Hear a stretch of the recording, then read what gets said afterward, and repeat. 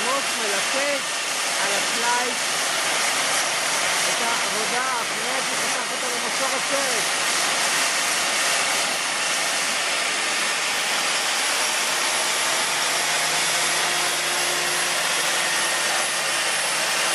הסדנה שלנו בפעולה. מעניין מה ליאורה עושה בזמן הזה?